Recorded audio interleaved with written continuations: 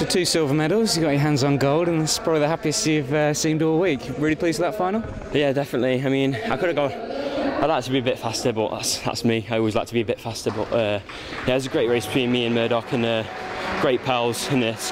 definitely going to be a really good one to watch at Commonwealths. Both 100, 250. It's going to be head to head. What a dash for the wall as well? How do you prepare yourself mentally? Do you kind of take any, anyone else into account, or is it completely focused on yourself? Um, I think that's where I went on the wrong in the heats and semis. The heats and semis, I was kind of like I was thinking of the outcome rather than the process. And tonight, just went for that process, and it turned out really good. So I, I couldn't really mentally preparing. Just thinking of this process is for me, catching the water. Just hope for hope for the finish. Last year's British Champs was a real breakthrough meet for you. This year's taken it to another level. You must be really looking forward to getting stuck in again now. Yeah, definitely. I mean, this gets me gives me new motivation for the next next cycle into Commonwealth Games. Got some more international meets abroad, and uh, training's at the moment. I'm just fired up now. It's just fired all, all the buttons for Commonwealth. So